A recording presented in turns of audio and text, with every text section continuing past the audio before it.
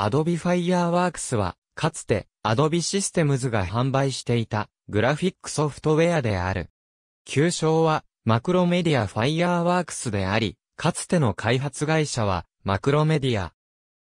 略語は FW マクロメディアによってウェブをターゲットにした画像作成、出力を目的に作成され、標準保存ファイル形式は PNG だが、JPEG、GIF などのインターネットで使用される画像形式を品質をできるだけ落とさずに、バイナリ容量を小さく保存する機能に特化した。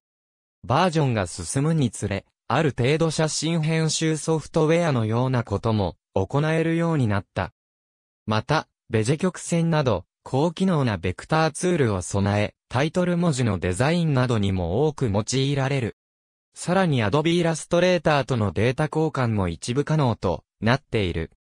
1998年米国でマクロメディアよりリリースされ、同社のドリームウィーバーとの連携が主な特徴。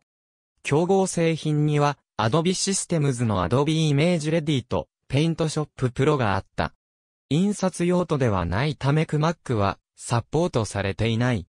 CS4 からは Air への書き出し及び PDF への書き出しをサポートしている。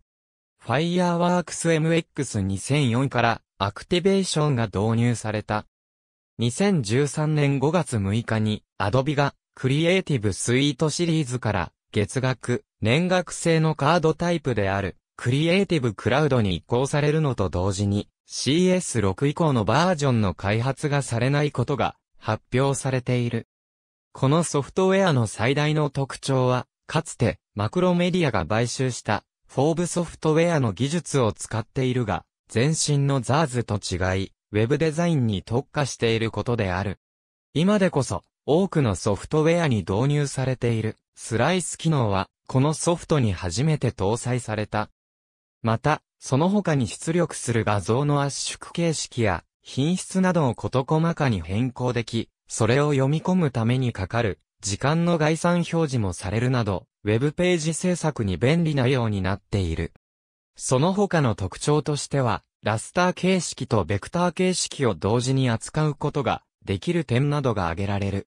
MX 以降、フラッシュとバージョンを同期したために、バージョン5.0が存在しない。ありがとうございます。